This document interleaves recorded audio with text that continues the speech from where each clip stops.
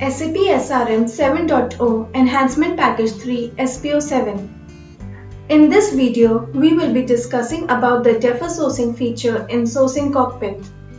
Purchasers can use this functionality to mark certain requisitions for later resubmission in the purchaser work list.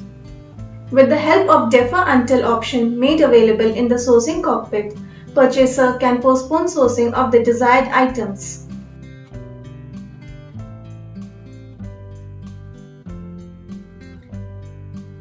For better understanding of the topic, we will move on to the demo. Let us say a purchaser performs SOCO search.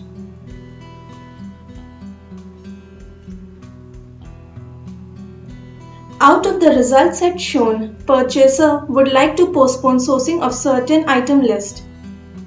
With the help of this new feature, purchaser selects required set of items and enters a date in defer until field and clicks on Go button.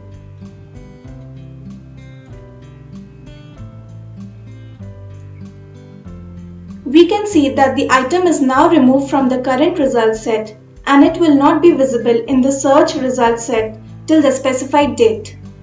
Also, if purchaser would like to see the deferred item as well, it is possible by checkbox indicator.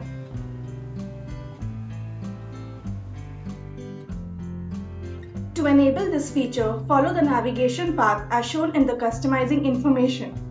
Set the switch to active and save it. The feature will now be available for use.